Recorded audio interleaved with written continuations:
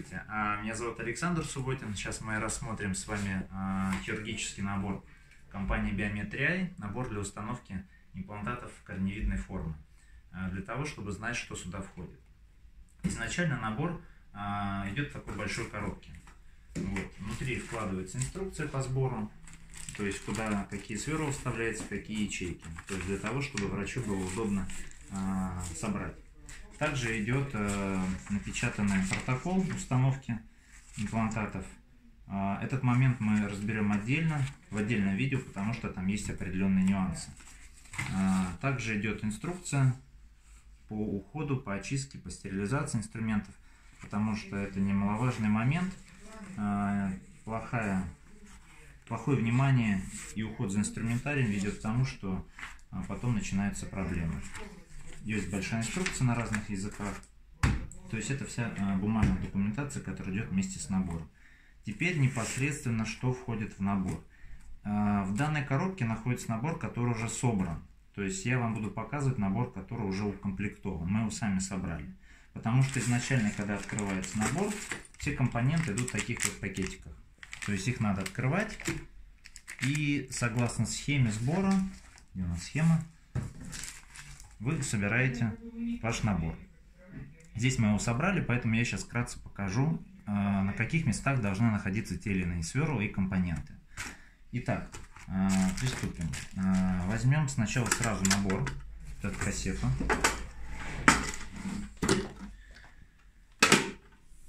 Что сюда входит? Если с самого начала, согласно протоколу, то все начинается со стартового сверла. Вот. Оно находится вот здесь. Называется стартер drill. А, нужно, нужно для того, чтобы, я сейчас его положу, видно вот так вот, для того, чтобы а, перфорировать кортикальную пластинку а, костного гребня, грубо говоря, накернить то отверстие, через которое будет происходить дальнейшее сверление. Оно, первое, стартовое сверло, оно достаточно острое, поэтому я предпочитаю его ставить кончиком острым вниз, поскольку всегда есть риск об него порезаться. А с другой стороны, сверло очень агрессивное и очень острое, поэтому оно входит как по маслу в кость, то есть там, где вы намечаете, туда и происходит сверление, что очень удобно. Потом идут 2-миллиметровые а, три а, сверла. Эти сверла у нас задают длину, длину остеотомии, то есть той лунки, куда будет устанавливаться имплантат. Они все одинаковые в диаметре, 2 мм, но разной длины. 10 мм, 15 мм и 20 мм. Сделано это для удобства, потому что, к примеру, в дистальном отделе длинное сверло может э, не поместиться. Поэтому используется, например, короткое сверло э, с э, длиной 10. Могу сказать, что на каждом сверле, здесь если навести поближе, видно обозначение. Вообще на каждом компоненте есть свои артикулы, что удобно и упрощает потом расстановку по ячейкам всех компонентов. Здесь, в частности, будет написано AST 2010, что означает э, сверло диаметром 2, э, 20 миллиметров э, и длиной 10. Так, здесь 20 на 20 это длина для фронтального отдела и 15 средняя, самый ходовой, наверное. Так, дальше потом идет по протоколу у нас, соответственно, по диаметру. Диаметр 3,25, диаметр 4, и диаметр 5, и диаметр 6. Есть цветокодировка, чтобы не запутаться, а, потому что все имплантаты, их шахты также цветокодированы. Соответственно, цветокодированы все сверла. Здесь, в принципе, написан как раз-таки пошаговый а, а, выбор всех сверл. Дальше сверла идут четырехлопастные конусные. То есть они достаточно агрессивные и острые. Сейчас положу, некоторые можно навести. Вот. А, здесь четыре лопасти а, конусной формы. Они как раз таки, а, длина у нас уже задана, и они делают, развальцовывают ломку под имплантат. Изначально, если смотреть инструкцию производителя, то скорость вращения сверла 1000-1200 оборотов в минуту. Вот. Но на практике могу сказать, что вот эти высокие обороты мы рекомендуем использовать при стартовом сверлении и 2-мм сверлами, когда мы формируем длину под имплантат. Далее, когда мы используем вот эти конусные сверла, которые достаточно агрессивные и острые, а, желательно количество оборотов снизить, это где-то 600-800 оборотов в минуту. вот, чтобы они меньше перегревали и травмировали кость. И в любом случае они очень хорошо заходят а, в любую кость любой плотности. При этом на их лопастях при небольших оборотах очень хорошо остается а, костная стружка, что потом в дальнейшем используется для костной пластики. К примеру, если вокруг шейки имплантата надо внести немного костного материала. А, здесь удобно, что каждый диаметр и каждая длина своей лунки стоит. Например, сверло диаметром 3,25, а длиной на 11. Для нее специально своя лунка. Также есть обозначение на этом сверле. Там видно мелкими, э, конечно, цифрами, но э, всегда это можно посмотреть, э, где это сверло должно стоять. После сверления сверлом идет так называемый позиционер, он же и глубиномер. Он показывает, во-первых, направление а, правильно ли вы задали направление сверления, то есть э, лунка находится у вас в правильном направлении создана, также показывает, что важно глубину погружения имплантата. Я положу их несколько рядом. Серебристая часть, она точно совпадает с телом имплантата, то есть насколько у вас в лунку заходит данный позиционер, глубиномер, настолько у вас будет и, и зайдет имплантат. Иногда бывает, что э, доктор не досверлил, он видит, что, например, серебристая часть нас находится над гребнем, над а, костным уровнем. Поэтому необходимо еще пройтись сверлом, например, предыдущими сверлами, либо вообще вернуться на тот этап, когда была неправильно задана длина. Удобная вещь, если врач, например, задается целью сделать точное позиционирование и сформировать а, точную лунку. Есть а, сверло, вот это вот ICD-100, это развальцовочное сверло. Оно используется не часто, когда у нас, например, очень толстая вертикальная пластинка и необходимо развальцевать верхний слой.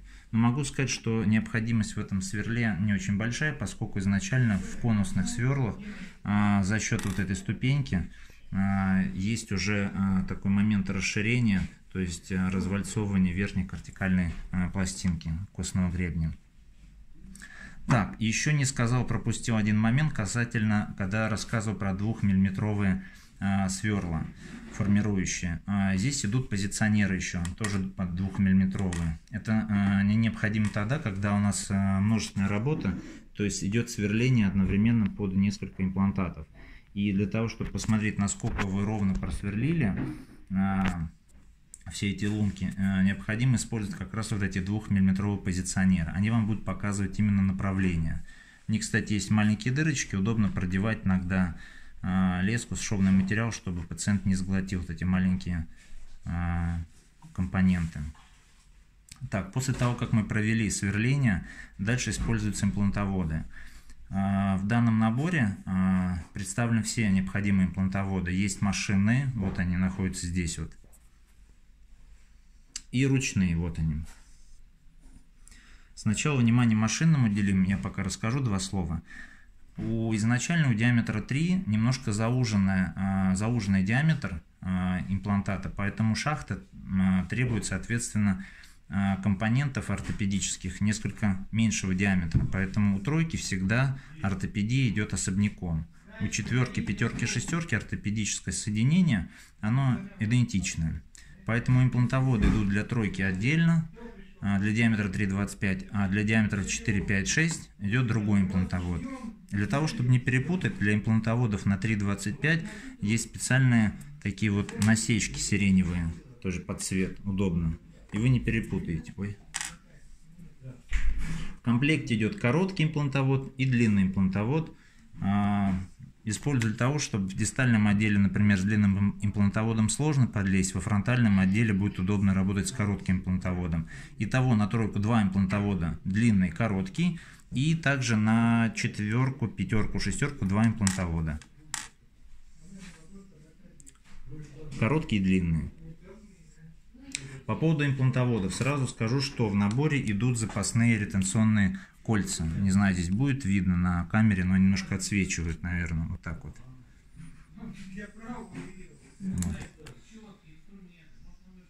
Для чего нужно? Потому что на кончике этих имплантоводов, если навести камеру, может быть, Попробуем сейчас это сделать на сером фоне, вот здесь вот. находятся как раз таки эти ретенционные колечки, они используются для удержания имплантата. А, за счет них как раз таки имплантат фиксируется, делается забор его из упаковки и вводится имплантат в лунку. Со временем эти резиночки теряют свою ретенцию, поэтому их необходимо менять. В наборе идет запасной, запасной комплект этих резинок. Так, где написано L это длинный, S это короткий шорт. Здесь подписаны везде артикулы. Так, по ручным имплантоводам. Здесь, э, здесь ничего такого нету э, сложного. Здесь есть короткий имплантовод и длинный имплантовод.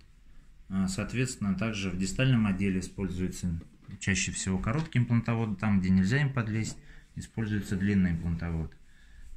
Сразу скажу, что данные имплантоводы, они универсальные, подходят для диаметра 3,25 4, 5 и 6. То есть здесь не нужно врачу заморачиваться, какой имплантовод использовать. У них структура другая, здесь ретенционных колец нету, здесь сама система идет э, усиленная, то есть этими имплантоводами и с помощью ключа ручного производится закручивание. Можно прилагать достаточно большое усилие, больше 50-60 ньютонов, и с этим вопросов не возникает. То есть шейка имплантатов у имплант... Триай достаточно прочная. Этот а, а, ключ с храпом механизма идет в комплекте. В комплекте также еще идет зонд. Так, набор у нас еще входит из того, что я не сказал, отвертка ручная и отвертка машинная, то есть для наконечника. Вот они вот здесь вот можно навести на них. Отвертки используются для заглушек. И, естественно, для всей ортопедии, для закручивания винтов э, в абатменты. Также еще идет переходник машинный, вот такой вот, и ручной. Ручной длинный и ручной короткий. Они используются для метчиков. Про метчики мы сейчас с вами как раз таки поговорим. Мы всегда стараемся комплектовать э, клинику полным комплектом. То есть э, в полный комплект входит полностью укомплектованный набор со всеми сферами и набор костных метчиков – Производитель, согласно инструкции, рекомендует для плотной кости использовать костные метчики для нарезания резьбы.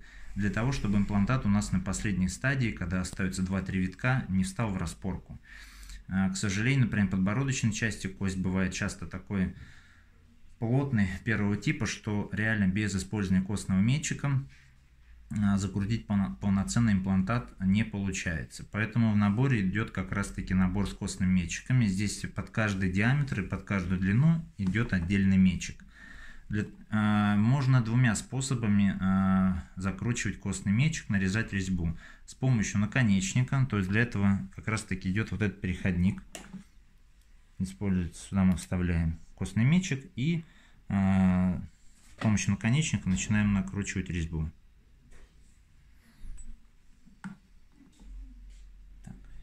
Найдем. Либо можно с помощью ручного ключа, вставляется, сейчас я покажу.